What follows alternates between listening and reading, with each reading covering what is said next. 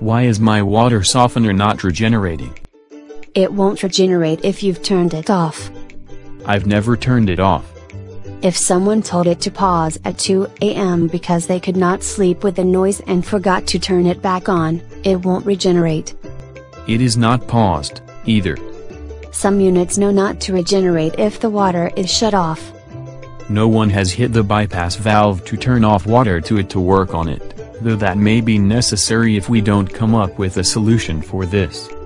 The first thing I suggest is hitting the lever on the unit or button on it to manually regenerate it. What if that does not work? Then you know that there is a problem with the control panel, pumps and other hardware.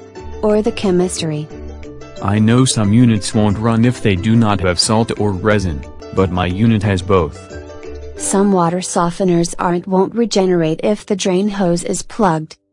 That's a good thing if it prevents the unit from adding water when it cannot drain it, causing an overflow. Other units won't regenerate because the float is misaligned and sticking up in the air, so it thinks there is too much water already. Problems with the float are at least obvious, since the ball is not right on the surface of the water.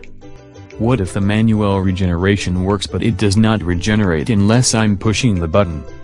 The control board could be damaged by electrical shorts or power outages. If you said that about my PC, I'd reboot it.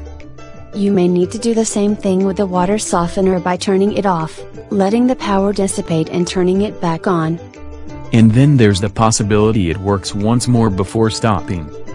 If that happens, I think the timer is thrown off or not working, so it does not realize it should run. That would explain working when I hit the button but not on its own.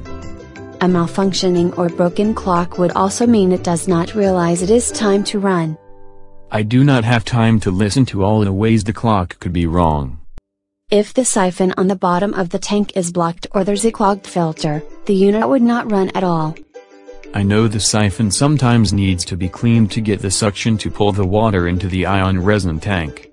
At least cleaning those is free. If the valves are stuck closed, it won't run at all either. And if cleaning those do not work, I am calling for service.